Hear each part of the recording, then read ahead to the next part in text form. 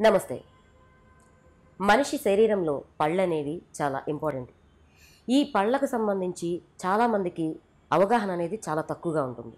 పళ్ళే కదా ఏముందిలే అనుకుంటారు కానీ పళ్ళను బట్టి చాలా రకాల సమస్యల్ని కూడా తెలుసుకుంటారు డాక్టర్స్. అయితే ఈరోజు మనం ప్రతిరోజు కూడా ప్రతి ఆరు నెలలకు ఒకసారి డెంటల్ డాక్టర్ని కలవాలని చెప్పి అంటూ ఉంటారు డెంటల్ డాక్టర్స్. నిజంగా వారిని డెంటల్ డాక్టర్స్ సిక్స్ మంత్స్కి ఒకసారి కలవాల్సి ఉంటుందా? ఎందుకు కలవాలి? దానికి రీజన్స్ ఏంటి? ఇవన్నీ కూడా దంతాలకు సంబంధించిన అవగాహన గురించి మనకు తెలియజేయడానికి మనతో ఉన్నారు నేషనల్ డెంటల్ కేర్ డాక్టర్ గారైన యుగంధర్ గారు. నమస్కారం డాక్టర్ గారు. నమస్తే మ్యామ్. డాక్టర్ గారు నిజంగా చాలామంది డెంటల్ డాక్టర్స్ అందరూ కూడా సిక్స్ మంత్స్కి ఒకసారి డెంటల్ డాక్టర్ని అప్రోచ్ అవ్వాలి అంటుంటారు. నిజంగా డెంటల్ డాక్టర్ని సిక్స్ మంత్స్కి ఒకసారి అప్రోచ్ అవ్వడం అనేది కంపల్సరీ అంటారా? ఎందుకు? ఇది చాలా వ్యాలిడ్ క్వశ్చన్ మ్యామ్ యాక్చువల్లీ ప్రతి ఆరు నెలలకు ఒకసారి పంటి డాక్టర్ని కలవాలా కలవాలా? కలిస్తే ఇంకేమైనా డాక్టర్లు ఇవేమన్నా దోచేసుకుంటారా పేషెంట్ని ఇలాంటివన్నీ ఆలోచనలన్నీ ఉన్నాయి. ఎస్ కాకపోతే పంటి డాక్టర్ని మీరు ఆరు నెలలకు ఒకసారి కలవడం వల్ల మీరు డాక్టర్లకి నష్టం చేసినట్టు మీకు మీరు లాభం చేసుకున్నట్టు. కారణం ఏంటంటే అవయవాలు యాక్చువల్లీ ఏదో ఒకటో రెండో ఉంటాయి కానీ పళ్ళకు సంబంధించి మాత్రం ముప్పై రెండు ఉంటాయి. ఈ ముప్పై రెండు పళ్ళు ఉండడం వల్ల ఒక్కొక్క దాన్ని మనం అవగాహన తీసుకోవాలి. అది ఏం చేయాలి? ఏంటి? అది ప్రాబ్లం ఉందా? ఓన్లీ పళ్ళు మాత్రమేనా? పళ్ళుకు సంబంధించి ఇంకేదైనా కంప్లైంట్స్ ఉన్నాయనంటే పళ్ళకు సంబంధించి చిగురు ఎముక ఇలాంటివన్నీ ఉంటాయి. పెరిడాన్షియం అంటారు. ఈ మూడు కలిస్తేనే పళ్ళకు సంబంధించిన ఆరోగ్యం బాగున్నట్టు. సో వాటి ఆరోగ్యం బాగుందా లేదా అనేది అవగాహన చాలామందికి తెలియదు మరి దాన్ని ఎలా మెయింటైన్ చేయాలి అనే దానికోసం ఆరు నెలలకు ఒకసారి పంటి డాక్టర్ని కలిస్తే ఈ ఒక పన్ను పుచ్చుండొచ్చు ఇంకో పన్ను పుచ్చకపోయి ఉండొచ్చు సో ఒకవేళ చిగురు వాసుండొచ్చు ఒకవేళ చిగురు నుంచి బ్లడ్ వస్తుండొచ్చు నోటి దుర్వాసన రావచ్చు. ఇలాంటి కారణాలన్నీ కూడా బయటపడతాయి. కానీ వీటన్నిటికీ ఒకటే ఒక మార్గం ఏంటంటే ఉంది అని అంటే పళ్ళకి గార శుభ్రం చేసుకోవడం స్కేలింగ్ అంటారు ఆ ప్రొసీజర్ని. ఆ స్కేలింగ్ అనే ప్రొసీజర్ ద్వారా పళ్ళ చుట్టూ ఉన్న గారని ఆరు నెలలకు ఒకసారి శుభ్రం చేసుకుంటే క్లియర్ అయిపోతుంది. ఈ విషయాన్ని కోసం ఆరు నెలలకు ఒకసారి పంటి డాక్టర్ని కలవమంటారు. అది పరిస్థితి. అంటే డాక్టర్ గారు అంటే ఆరు నెలలకు ఒకసారి మాత్రమే అంటున్నారు. అంటే ఆ గార అనేది ఆరు నెలలకు ఒకసారి ఎక్కువగా పేర్కొంటుందనా? లేకపోతే అందరూ చాలా మందికి ఉన్న ఆలోచన ఏంటంటే డైలీ బ్రష్ చేస్తుంటాం కదా. అలాంటప్పుడు ఎందుకు అనే ఆలోచన కూడా కొంతమందికి ఉంటుంది. Yeah ma'am correct. యాక్చువల్లీ ఏంటంటే మీరే కాదు ఈవెన్ నేనైనా కూడా డాక్టర్గా ఉండి నేను కూడా ప్రతి ఆరు నెలలకు ఒకసారి గార్ శుభ్రం. అంటే నాకు బ్రషింగ్ టెక్నిక్ బాగా తెలుసు డాక్టర్స్ అందరికీ. అయినా కూడా ప్రతి ఒక్కరికి ఆరు నెలలకు ఒకసారి చిగురు కింద అక్కడ సబ్జింజేవల్ ఏరియాలో గార ఫామ్ అయ్యి ఒక రింగ్ లాగ్ ఫామ్ అవుతుంది. దాన్ని మీరు లక్ష రూపాయల బ్రష్తో కూడా క్లీన్ చేసుకోలేరు ఎవరు కూడా. దాన్ని మనం ప్రాపర్గా ఇన్స్ట్రుమెంట్తో క్లియర్ చేసి స్కేలర్ అనే ఇన్స్ట్రుమెంట్తో క్లియర్ చేస్తే తప్ప క్లియర్ అవ్వదు. సో అందువల్ల అది మస్ట్ అండ్ షుడ్ ఎవరైనా కూడా పేషెంట్స్ అయినా డాక్టర్స్ అయినా వయసుతో సంబంధం లేకుండా ఎవరైనా జెండర్తో సంబంధం లేకుండా చేయించుకోవాల్సిందే. అలా చేయించుకోవడం వల్ల ఆ గార పేరుకోకపోవడం వల్ల ఆ గార క్లీన్ చేసేస్తే పళ్ళు పుచ్చకుండా ఉంటాయి. పోతే మీరు ఇంకోటి అడిగింది ఏంటంటే ఆరు నెలలకు ఒకసారే ఎందుకు అనే పాయింట్ అడిగారు.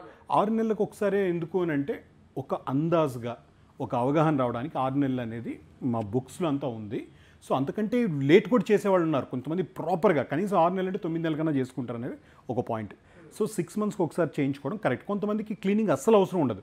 అప్పుడు నైన్ మంత్స్కో ట్వెల్వ్ మంత్స్కో మళ్ళీ రమ్మని అప్పుడు మళ్ళీ స్కేలింగ్ చేస్తాం. ఇది మ్యామ్ ప్రొసీజర్ అయితే డాక్టర్ గారు ఈ గార అనేది అంటే ఏ విధంగా అంటే సరిగ్గా దంతధావనం చేసుకోకపోవడం వల్ల వస్తుందా? వేరే ఇతర సమస్యల వల్ల వచ్చే అవకాశం ఉందంటారా? లేదు మ్యామ్ మీరు చెప్పింది కరెక్ట్ యాక్చువల్లీ వేరే ఇతర సమస్యల వల్ల అనేది చాలా చాలా కొంతవరకే కానీ మీరు బ్రషింగ్ టెక్నిక్లో లోపం ఉండడం వల్ల కొంతమంది అదే పని చెప్తారు సార్ నేను ప్రతి నెల ఒక్కొక్క బ్రష్ మారుస్తాను సూపర్గా చేస్తాను రోజు ఒక ట్వంటీ మినిట్స్ చేస్తాను నేను బ్రషింగ్.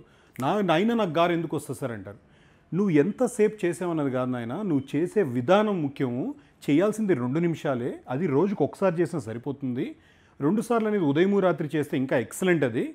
ఒక్కసారి చేసినా కూడా ఆ పర్ఫెక్ట్గా టెక్నిక్ ఏదైతే మీకు లోపల వైపు నుంచి ప్రతి పన్నుని క్లీన్ చేయడం సో ప్రతి ప చిగురు దగ్గర టచ్ చేయడం అనేది ముఖ్యం. ఎంతసేపు చేసామన్నది కాదు ఎలా చేసామన్నది ముఖ్యం అని చెప్పి వాళ్ళని అవగాహన క్రియేట్ చేస్తాం మ్యామ్ అయితే డాక్టర్ గారు మీరు ఇప్పుడు చెప్పినట్లుగా ఆ అవగాహన అనేది ఏ విధంగా ఉండాలి? దంతధావనం అనేది ఏ విధంగా చేసుకోవాలనేది? యా మ్యామ్ దానికి ఏంటంటే యూజువలీ జనరల్గా మేము చెప్పే ప్రొసీజర్ ఏంటంటే మీకు చూపిస్తాను మ్యామ్ మీకు. ఇవి మీరు పళ్ళు అని అనుకుంటే ఇవి టోటలీ ఇవి పై పళ్ళు కింద పళ్ళు అని అనుకుంటే ఇది బ్రష్ అనుకుంటే ఇది పై దవడిని యాక్చువల్లీ పై పళ్ళని మూడు మూడు పళ్ళని మూడు మూడు సార్లు మూడు మూడు పళ్ళని మూడు మూడు సార్లు పై నుంచి కిందకి. మూడు మూడు పళ్ళని మూడు మూడు సార్లు. అదే కింద పళ్ళని కింద నుంచి పైకి. మూడు మూడు పళ్ళని మూడు మూడు సార్లు ఇలా చేయాలి.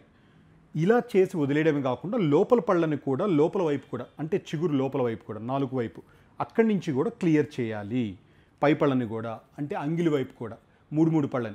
ఇది చెప్పడానికి వినడానికి కష్టంగా ఉన్నా కరెక్ట్గా వారం రోజుల్లో మ్యామ్ కరెక్ట్గా టూ మినిట్స్లో చేసుకోగలరు. అంతే. మొదట ఒక ప- ఐదు నిమిషాలు ఏడు నిమిషాలు పడుతుంది. సో దీనివల్ల నేను మూడు మూడు పళ్ళని మూడు మూడు సార్లు పైనుంచి కిందకి చేయడం వల్ల పళ్ళ సందుల్లో కూడా నీట్గా క్లియర్ అవుతుంది.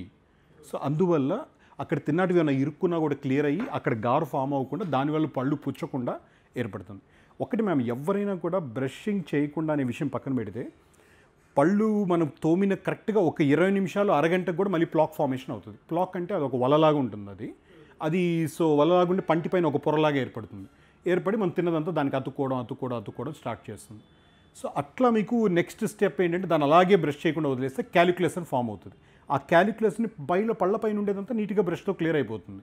కానీ చిగురు కింద ఇరుక్కున్నది క్లియర్ చేసుకోలేరు. అవి చిగురుని తినేసి కొన్నిసార్లు చిగురులో నుంచి జింజవిటీస్ అని చిగురులో నుంచి బ్లడ్ రావడం అని ఇలాంటివన్నీ కూడా నెక్స్ట్ నెక్స్ట్ నెక్స్ట్ ఇది సీక్వెల్ ఆఫ్ ఫామ్ అవుతుంది. అది మ్యామ్. అయితే డాక్టర్ గారు చాలామంది మేము గంటలు చేస్తుంటాము అంటే అన్ని డెంటల్గా ఈ బ్రష్తో చేస్తుంటారు. కానీ నాలుకని క్లీన్ చేసుకోవడం అనేది కొంతమంది చేయరు. నిజంగా అది కరెక్టేనంటారా అంటే మ్యామ్ కొన్ని కేసెస్కి యా ఇంకా అంటే ఇప్పుడు నాలుగు క్లీన్ చేసుకునే వాళ్ళు వందలో పది శాతమే ఉన్నారు. వందలో పది శాతమే ఉన్నారు. క్లీన్ చేసుకోవాల్సిన మస్ట్ అంటే ఎస్ కొంతమంది చాలా రఫ్గా టేస్ట్ బడ్స్ని డ్యామేజ్ చేసేటట్టు క్లీన్ చేస్తుంటారు. సో అలాంటి కేసుల్ని అందువల్ల యాక్చువల్లీ యూజువల్ డెంటిస్టులు కూడా మీరు పళ్ళను శుభ్రం చేసుకోమంటారే కదా తప్ప చ- నాలుకని కంపల్సరీ చేసుకోండి అనే పాయింట్ని ఎక్కడ రైజ్ చేయరు. ఎందుకంటే కొంతమంది మరీ రఫ్గా వెళ్తుంటారు కొంతమంది అసలు దాన్ని అదేమన్నా అయిపోతుందేమో అని. డిపెండ్స్ అండి కేసు మీద బట్టి. కొన్నిసార్లు ట్యాబ్లెట్స్ వాడుకునేటప్పుడు ఒక పొరలాగా ఏర్పడుతూ ఉంటుంది. సో కొన్ని రకాల కాంబినేషన్స్ వాడడం వల్ల. అలాంటి కాంబినేషన్స్ వాడేటప్పుడు డెఫినెట్లీ చేయాలి. ఎవ్రీడే చేయాలి లిమిట్గా. జస్ట్ ఒక టూ టైమ్స్ స్క్రాప్ చేస్తే చాలు. ఎక్కువ వద్దు.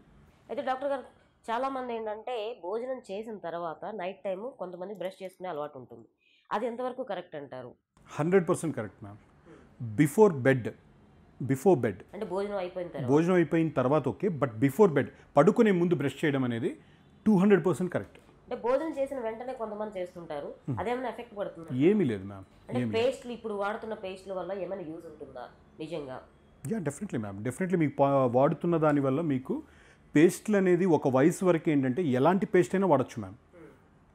ఎందుకనంటే అక్కడ శుభ్రం చేయడం ముఖ్యమే తప్ప ఎలాంటి వేటిలతో శుభ్రం చేసినా ముఖ్యం కాదు మ్యామ్. సో లోపల మనకు పళ్ళపైన ఏది కొత్త పొర ఏర్పడకుండా తిన్నవి ఇరుక్కోకుండా చూసుకోగలిగితే చాలు ఒక వయసు వరకు. ఒక వయసు అయిన తర్వాత ఏమవుతుందంటే ఒక నలభై సంవత్సరాలు దాటిన తర్వాత పళ్ళ చుట్టూ ఉన్న ఫస్ట్ మామూలుగా మీకు విషయం చెప్పండి పళ్ళపైన ఎనామిల్ అని డెంటిన్ అని పల్ప్ అని మూడు పొరలు ఉంటాయి. ఆ ఎనామిల్ అరిగిపోతే అప్పుడు మీకు రెండో పొర బయటపడి అక్కడ జూ అనడం స్టార్ట్ అవుతుంది. ఏమన్నా తింటే కూలింగ్గా వేడిగా అట్లా. సో మీకు ఎనామిల్ ఏదైతే డ్యామేజ్ అవ్వకుండా ఉండడం కోసం మేము మామూలు సాఫ్ట్ బ్రష్ వాడమంటాం. కానీ అట్లా వాడకుండా కొంతమంది పుల్లలు వాడి పళ్ళంతా అరగ తీసేసుకొని లేదంటే బ్రష్తో ఎక్కువ బ్రష్ చేసి ఎక్కువ టైం చేసి అలా పళ్ళు అరగ తీసిన వాళ్ళకి సపరేట్ పేస్టులు వాడతాం. అంతేగాని సపరేట్గా మనకి ఈ పేస్ట్ ఆ పేస్ట్ అనేది అవసరం లేదు. అరిగిన పళ్ళకి లేదా జూ అనే పళ్ళకి మాత్రం అవసరం. కొన్ని చిగుర్లు కంప్లైంట్స్ ఉన్న వాళ్ళకి అవసరం. అది వాళ్ళకి సంబంధించిన పంటి డాక్టర్ని కలిసి ఇలా ఉంది నా అవసరం ఇలా ప్రాబ్లం ఉంది అని అంటే వాళ్ళకి డెఫినెట్లీ మీకు చెప్తారు. థ్యాంక్ యూ డాక్టర్ గారు. థ్యాంక్ యూ సో మచ్ అండి. చాలా చక్కగా అంటే ఈ డెంటల్కి సంబంధించి చాలా మందికి బ్రషింగ్ ఎలా చేయాలనేది కూడా ఆలోచన లేకుండా విపరీతంగా చేసేస్తూ ఉంటారు. ఏం చేస్తుంటారు అనేది కూడా అర్థం కాదు వాళ్ళు చూస్తూ ఉంటే. ఎక్కువగా పేస్ట్లు వాడేయటం అది కూడా కొంతమంది చేస్తూ ఉంటారు. నిజంగా ఆ పేస్ట్ అనేది ఎంతవరకు వాడాలి ఎంతసేపు ఎంత టైం చేయాలి ఈ బ్రషింగ్ కానీ ఇది కానీ కొంచెం క్లియర్గా చెప్తారా? ఓకే మ్యామ్ ఇప్పుడు ఏంటంటే బ్రషింగ్ టెక్నిక్ అనేది నేను మీకు ఇప్పుడు చూపించినట్టు మూడు మూడు పళ్ళని చిగుర్లు వైపు పైనుంచి కిందకి మూడు మూడు సార్లు మొత్తం అన్నీ కలిపి మొదట అలవాటు చేసుకోవడానికి ఒక ఐ ఐదు నుంచి వారం రోజులు పడుతుంది. దాన్ని రోజుకి రెండు నిమిషాల పాటు చేస్తే సరిపోతుంది. ఉదయం రెండు నిమిషాలు ఈవినింగ్ రెండు నిమిషాలు. ఒక బ్రష్ని మూడు నెలల పాటు వాడాలి రెండు నుంచి మూడు నెలలు. వాడిన తర్వాత కూడా కొత్తదిలాగే ఉండాలి. అలా కొత్తదిలా కాకుండా బాగా ఫ్లాట్ అయింది అని అంటే డ్యామేజ్ అయింది బ్రష్ కాదు మీ పళ్ళు. ఓకేనా మ్యామ్? దీంతో పాటు ఏం తిన్నా పుక్లి చూయాలి అని అంటాం. సో మీరు బ్రష్ చేసేటప్పుడు ఏదైతే ఉందో కొంతమంది రఫ్గా చేసి చిగుళ్ళను కూడా డ్యామేజ్ చేస్తారు. అందుకనే సాఫ్ట్ బ్రష్ వాడమండి అని చెప్తాం. ఆ సాఫ్ట్ బ్రష్ వాడడం వల్ల ఎనామిల్ పొర డ్యామేజ్ కాకుండా ఉంటుంది. డైలీ టూ టైమ్స్ చేయండి టూ మినిట్స్ చేయండి. సింపుల్.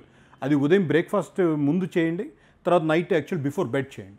సో ఉదయం లేచినండి ఎక్కువ జామ్ అక్కడితో క్లియర్ అయిపోతుంది. ఏం తిన్నా పుక్లి చూయండి. నోట్లో ఎక్కువసేపు ఏది ఒక పాలు తాగారు పిల్లల విషయంలో కానీ టీ కాఫీస్ తాగారు పెద్దవాళ్ళు లేదా చాక్లెట్స్ తిన్నారు. యా ఎంజాయ్ చేయండి.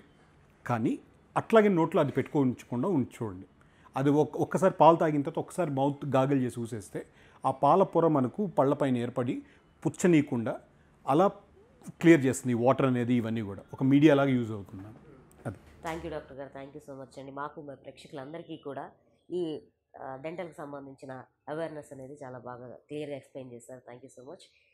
చూసారు కదండి? ఈ వీడియో కనుక మీకు నచ్చినట్లయితే లైక్ చేయండి షేర్ చేయండి సబ్స్క్రైబ్ చేసుకోండి.